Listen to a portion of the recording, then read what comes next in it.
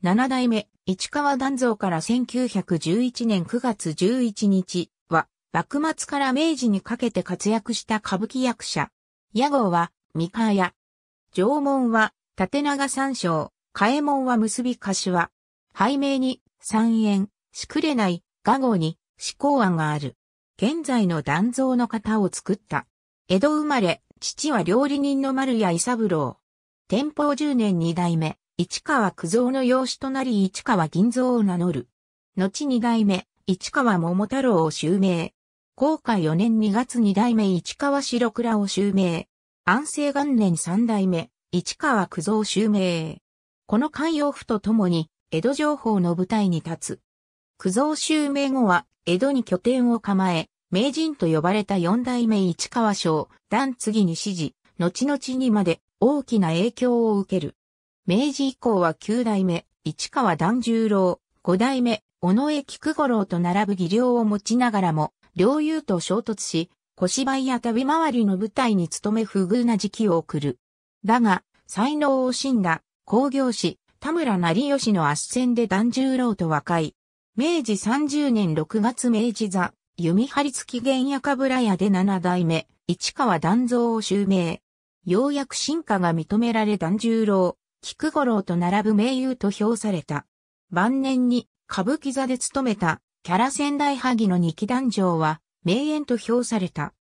しわがれ声と鋭い目つきが特色で、当たり役は二期団長のほか、小団寺直伝の東山桜宗氏の相互、光前、ジーマナリキ狂気上げの竹地光秀、金出本中心蔵の諸直、官平、東海道四谷階段の直助権兵衛。菅原伝授手習い館、寺子屋の松尾丸、楼門五十三切の石川五右衛門など。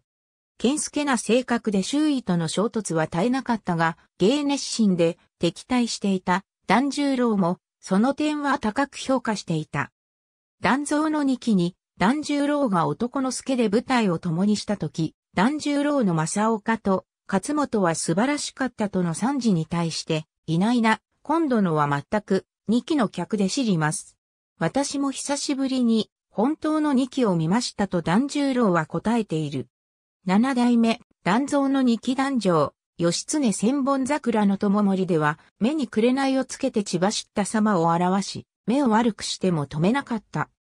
仙台萩二期では通常は二期の役の方を完成した五代目、松本幸四郎に敬意を表して、眉尻にほくろをつけるのを幸四郎を見せるのではなく二期を見せるんだと、決してほくろをつけなかった。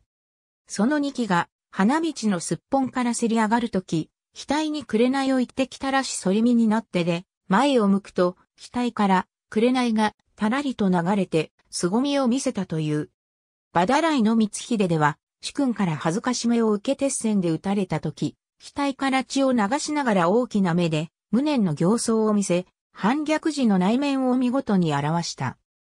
明治を代表する劇評家の三木武治は、方々ね、バリ締めにいかにも、一癖あるべく見え、口を結びて折々じろりじろりと上目に見回す眼中、ものすごく、中略ねちりね、ちりと咳枯れ声にて、こと複する呼吸、また一種の妙味あり。大岡を尻目に見て霊消費、後へ引き下がり少し反り身になりての引きつこみえぬえぬ、と評した。七代目は、断蔵型と呼ばれる、独自の型を作り上げ、観客の支持を受けた。新聞の訃報には、激快稀に見る、健介の言う、技芸以外、何者にも屈するところがなかったと賛辞を送っている。